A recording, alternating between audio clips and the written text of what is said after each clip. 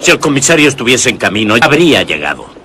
Vamos a dejar libre a Harper y no queremos que intervenga. El poner orden es asunto nuestro y no